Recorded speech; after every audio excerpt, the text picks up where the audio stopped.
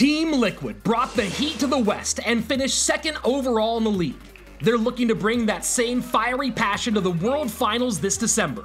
Check out the shining stars of this world class team. What a set of play. Surgical Goblin, a name that is nearly synonymous with Clash Royale, dominated his 1v1 sets this season, leading his team to many good games, well played, and thumbs ups.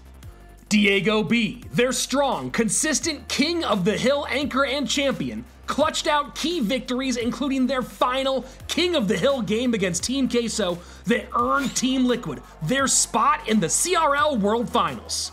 But right now, they are on top of the world. We're the only team with three players, and if everyone isn't on their best performance, we lose.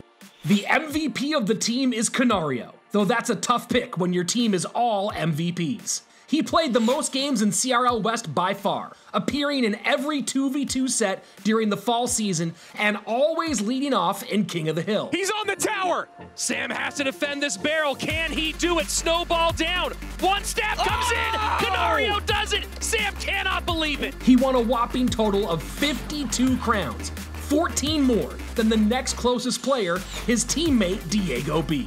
This will be Team Liquid's first trip to the CRL World Finals, where this trio will battle on the global stage for the first time. Will Team Liquid be able to hold up under the pressure? Don't miss out on their fight for the crown on December 7th, live on YouTube. Presented by Google Play.